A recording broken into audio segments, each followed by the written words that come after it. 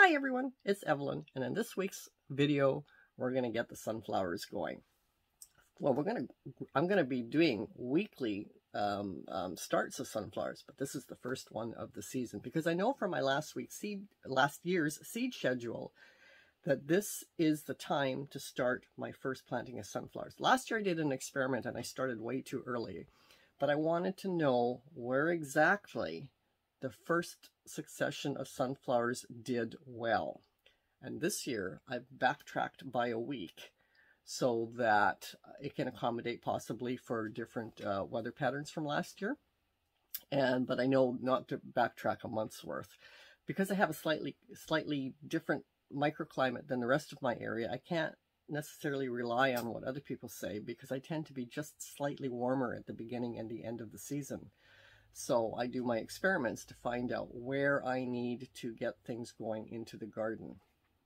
And my experiments last year said to start them this year. However, I am not starting them in the garden. I'm starting them in my seed room. And the reason for that is, is I have a really healthy soil situation outside, which means it's full of bugs, which means I have birds galore visiting my garden to feast on all the bugs and insects that are in the garden, which is great because they take care of a lot of the uh, pest pressure in, in my various different flower beds. But they also take care of all the weed pressure because they eat all the weed seeds. Uh, and and looking after my weeds is, is, is just a piece of cake. It's, it's effortless. However, it also means that I can't plant things directly into the garden because the birds will eat the seeds. I've tried, and you might get lucky. You might get one or two. The reason things still self-seed in the garden is because when a plant goes to seed, it's sending out hundreds upon hundreds of seeds. And if you have several plants putting out the same seeds, you could be talking thousands upon thousands of seeds. And then the next year, you get a half a dozen plants growing. So that shows you how many seeds are eaten by the birds or taken out by the weather, but mostly eaten by the birds because they're they're just feasting in my garden like you wouldn't believe, which is great. I love birds. So anyway, I will start my sunflowers in my seed room to avoid that problem. Now, before I start them in the seed room, of course, I've gone to my fridge and I've gotten out my seeds and I've pulled out all the sunflowers that I'm growing. And as you know from previous videos, there's nine different ones that I'm growing. Eight of them are flat-faced, and the ninth one, which is double quick, is a um, is a is a full-headed sunflower. And I don't grow a lot of each one at a time. I like having a wide range of colors. And um, the reason for that is, is because I'm pairing them with other things, and depending on what I'm pairing them with, depends on what colors I'm going to use. Now, for instance, in this particular bouquet, you can see I've got them paired with dahlias, cosmo foliage, and sweet peas. So the combination of the sunflowers with those flowers was really determinant on what color sunflowers I used. For instance, I, I wouldn't want a white sunflower in this bouquet because it would be too much of a blast of white. Kind of like if I had a white dahlia in that bouquet, it would be too much of a blast of white with that as well. Unless it was a small ball dahlia, uh, like the Petra's Wedding that I grow, then that just that little sparkle of a head of white poking through the larger, more um, dominant flowers would actually be quite pretty. But let's just focus on how I get these all going before we talk about the uh, nine different varieties that I am growing.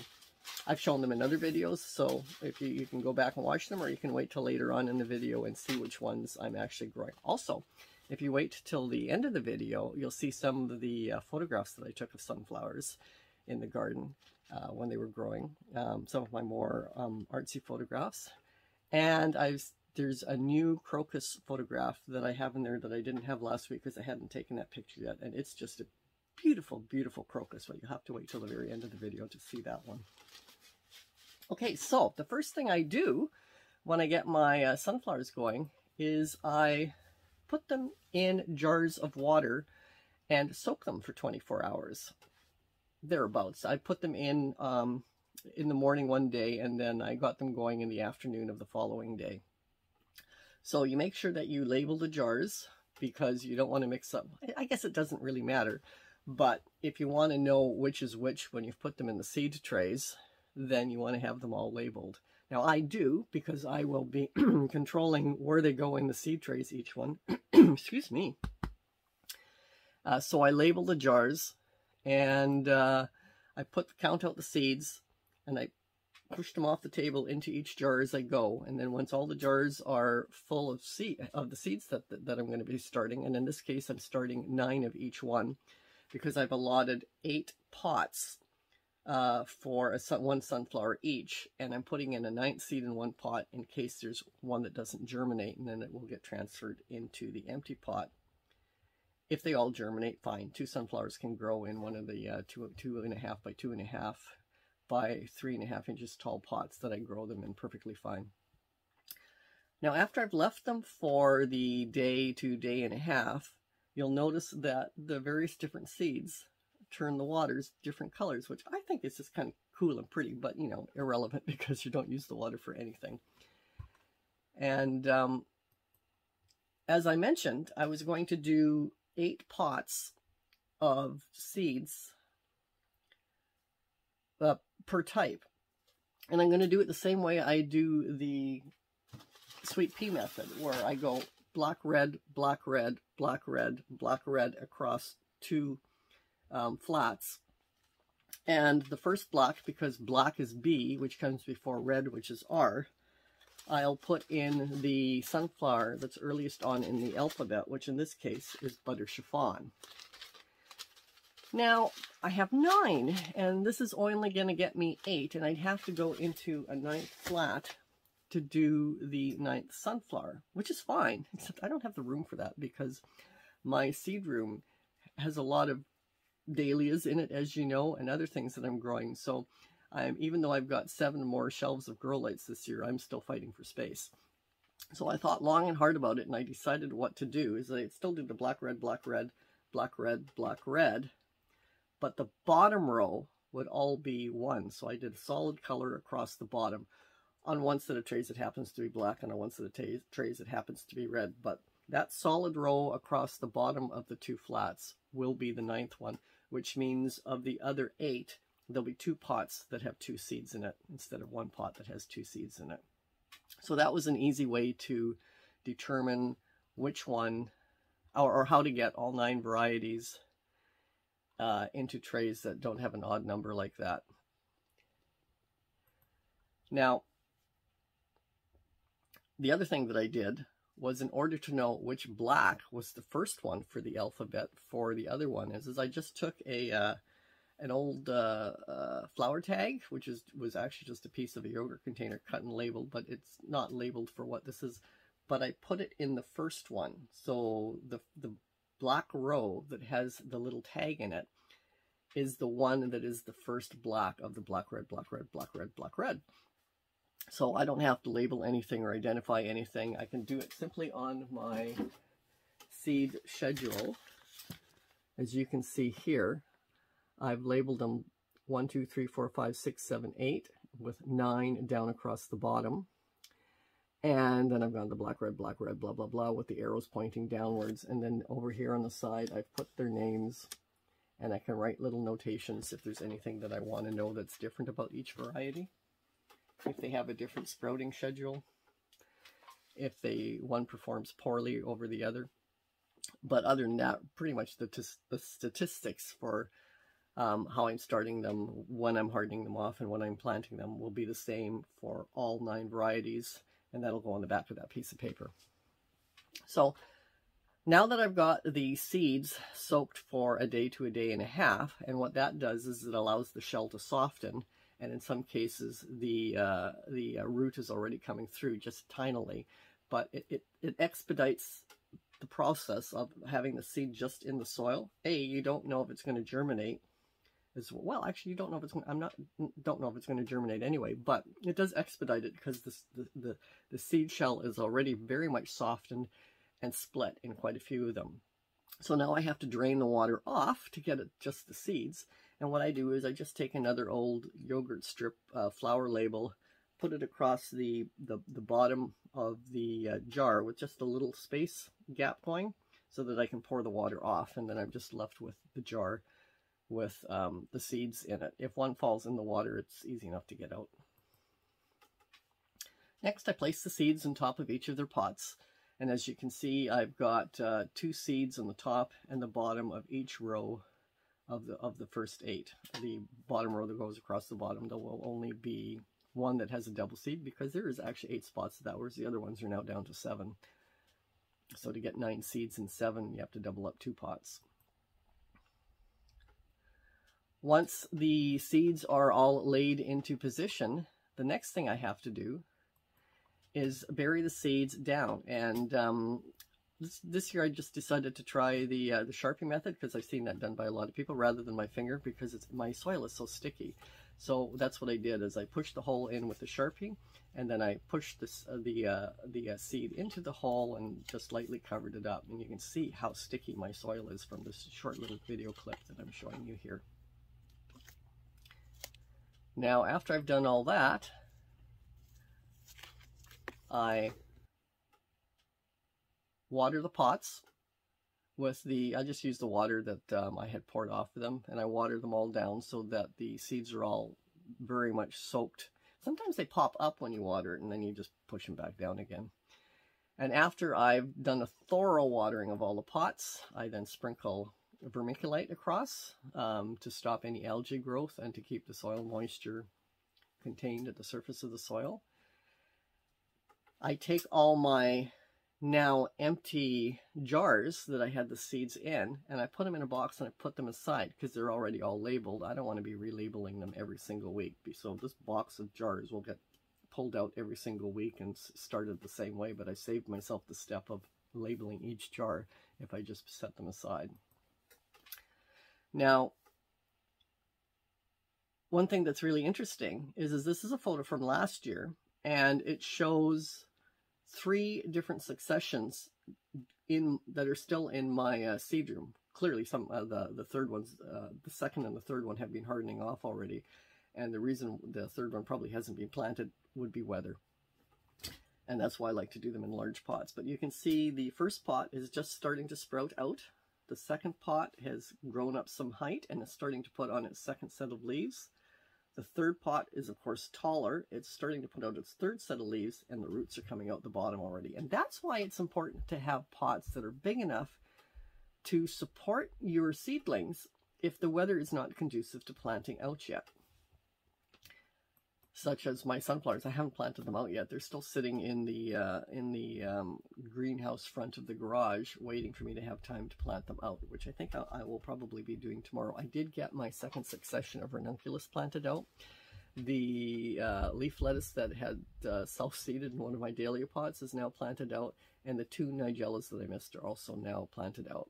So all that's left for me to go to, to get out into the garden of my first successions of plantings of the cool weather crops are the snapdragons.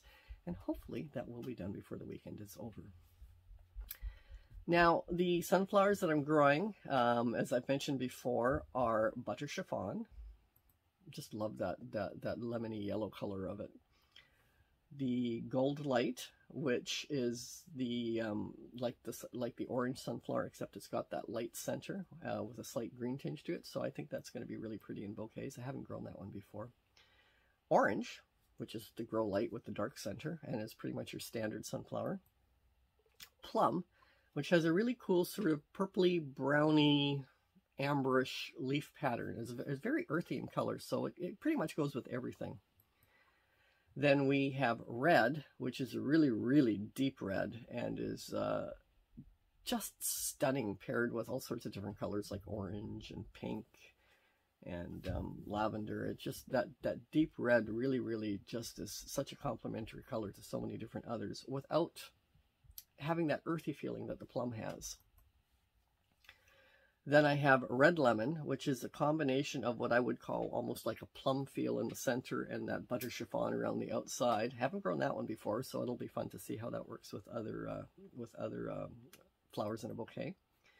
I have white light, which is a white sunflower, just slightly tan tannish color to the leaves. It's not like a pure white, and then it's got that light center. And then there's white night, which is exactly the same, but with the dark center.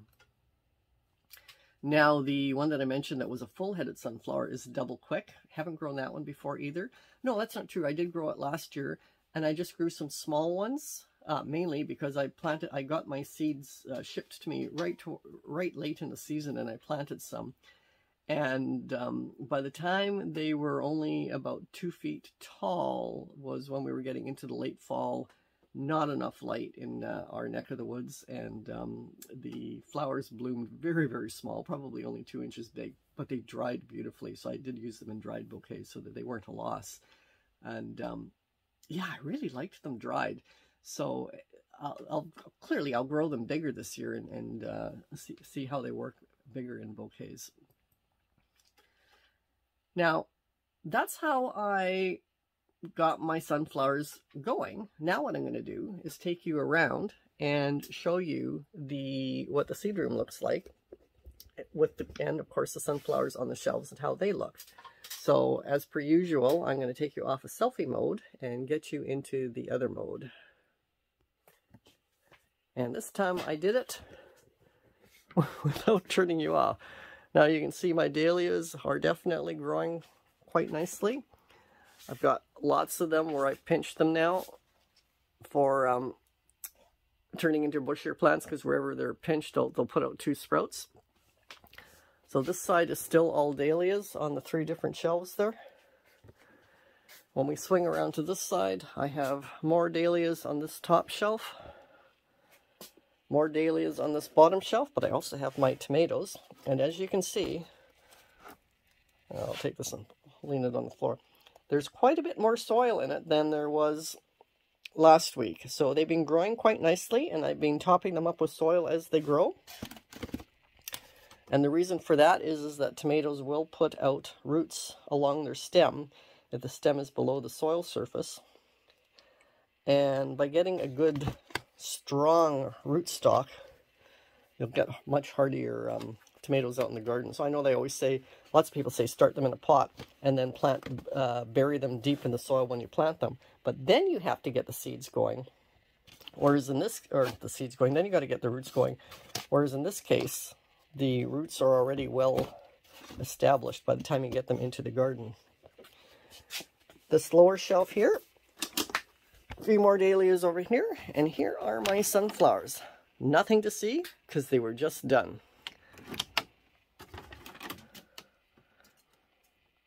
You can see in this one here, I've got, uh, I've got the lid off. You can see I've got the white tag here to say that's the first, the first one. And you can see I've got the foil behind them to reflect light back into the trays, which is one of the reasons I only need to put one tray on each shelf is because by putting foil on the walls, I have a lot of re light reflection over here, we've got more dahlias up here, more dahlias on this shelf. Down here, my cosmos are really take, starting to take off and stiffen up, as are my African marigolds. Fun fact about the cosmos, I did decide to go to our local Campbell River Garden Center and buy a couple of more packages of the ones that were really low in seed count. So 11 out of the one package and 16 out of the other instead of the approximate 25 of each. And while I was paying for them at the till, I mentioned why I was buying one more of each was because of the low seed count. And um, now I'm getting shipped free ones for that low count. So that's good. That'll uh, that makes me much happier. I didn't complain. I just mentioned it, and I was buying others. But as a result of mentioning it, um, I am getting from the company that supplies the seeds a new package of each one of the seeds. I supplied them with a lot number so that they would know which ones were not doing as well. Down here is some more dahlias. And that's it for my grow space. You can see it's pretty full. So next week, when I get the next two uh, trays of sunflowers going, I will probably be starting to harden off my, uh, um, oh, I will have hardened off to go into the greenhouse front of the garage, my marigolds and my cosmos to give me some space there. I'm also going to be getting more cosmos probably started, which means that some of these dahlias that are over here will get squished onto these shelves because I can push some of these back, which can give me a little bit of space in the front of those. But that's the progression of my seed room. Let me take you off of this mode and back to me. And this week I managed to do both without actually turning my phone off. Open up my stand that my phone is on. And, uh, oops, a little crooked there. Now I can show you some of the sunflower photos that I took last year. So this first one is called Birth of a Red Sun. The name tells you it's a red, red sunflower, but I just love how black and stunning the, the center of that uh, sunflower bud is. So that's my Birth of a Red Sun. The next one is Eye of the Sun, and this one is actually a plum. Then we have, this is actually a giant sunflower that had self-seeded itself into my garden that I let that I let grow. You know, they grow like seven, eight feet tall. And I looked at it every day um, while I was out in the out in the garden looking at my dahlias. And all of a sudden, this one day, I looked at it and I went, "Oh my goodness, there is a heart shape in it." So I started taking some photographs. It wasn't there the next day, and it wasn't there the day before, but for that one day, it had that little beautiful heart shaped in the center of the sunflower. So good thing I looked at it that day, and I call that one Love in the Sun. This sunflower is called, well, I gotta lean a little closer onto my computer to see what it's called. Red cut sunrays. So that would mean again that this is a red sunflower opening up a little bit more than that black bud. Then we have sunburst, which again is a plum sunflower. There's a pattern here of the, of the uh, sunflowers that I was taking pictures of. And this one is called Sunrise. And again, it's a red sunflower. So those are the photos of the sunflowers that I took. Um, I hope to take some more really interesting ones of the other colors because I didn't really realize until the end of the season that I'd only focused on the plum and the reds because I guess those are the ones that I was just so fascinated with last year. To uh, finish off this video, I'm going to give you a photo of that beautiful crocus that I said was not blooming last week. But first, I want to ask you to please remember to like this video if you do. Definitely leave comments. I love reading them and answering them. And if you haven't already, please subscribe. I really appreciate it. Next week, uh, this video is probably going to be my April seed starting. You know I'm going to be doing some more sunflowers, and you know I'm going to be doing some more cosmos. But there might be a few other things that I'm starting as well and panicking about where I'm going to find space to put them. But anyway, um, I will leave you off with a final view of this stunning photograph of my lavender and white crocuses in the garden. Isn't that just beautiful? Bye.